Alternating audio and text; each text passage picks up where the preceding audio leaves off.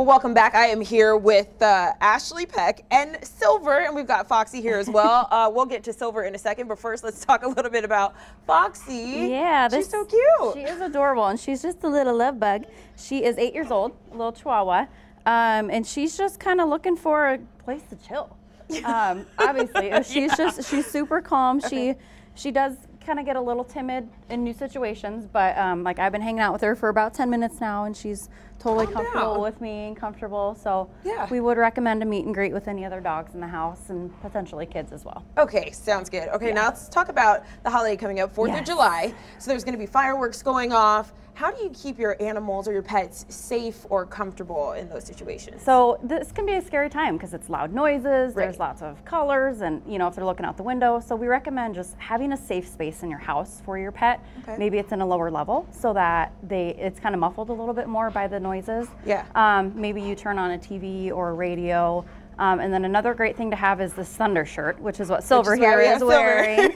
um, so these are great. It's kind of like a compression shirt, kind of similar to a swaddle for a baby. Okay. Um, so these just kind of wrap around, and then they've got like a three-layer Velcro system here, and then you just make it real tight. Um, I have a really nervous dog. He does great with these with thunderstorms, fireworks, so they do work. This is a great thing just to have okay. in general. A thunder so, shirt. And then yep. positive reinforcement, you were talking about that as well. Yes, so positive reinforcement, that's how we kind of um, do all of our training here at the ARL. Okay. So if there's something that's loud or scary, um, give them a treat. So when maybe a firecracker goes off, hand them a treat, so then they associate that noise as something that they get rewarded for. Um, yeah. So it's kind of more that positive reinforcement. It makes it a little less scary, and it may actually help them remember for next year or for thunderstorms or any other things like that. So Great, super helpful. Yeah. And then just try to be with them if you can, right? Yes, yes, exactly. Awesome. Okay, let's uh, go ahead and check out our next dog that we have here. Yeah. He is handsome. This what is, is his name? Camo, and he looks like he's camo. So he is a beautiful, uh, four years old. He's a male, um, and he's just, he's got energy. He's interested in Foxy here a little bit.